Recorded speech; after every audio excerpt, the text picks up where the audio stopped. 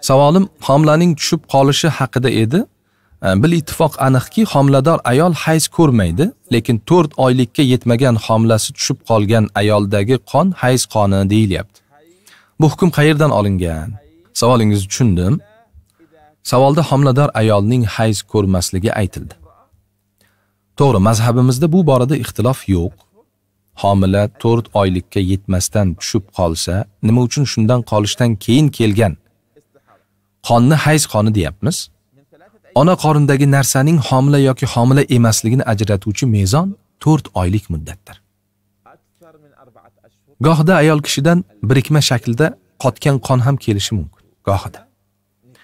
Bu birikmaning ichida bola bo'lishi ham, bo'lmasligi ham mumkin. Agar homila 4 oydan oshiq muddatda tushib qolsa, onaning qorindagi narsa bola bo'ladi. Bu yerdagi farq mana shunda xolos. 4 oy muddatdan oldingi holatda ayolni homilador deb hukm qila olmaymiz. 4 oydan keyin bolaning xilqatlari shakllana boshlagandan keyingina homila deb hukm qilinadi. Shuning uchun 4 oydan keyin kelgan qonga nifos, undan kam muddatda kelgan qonga esa hayz hukmi beriladi.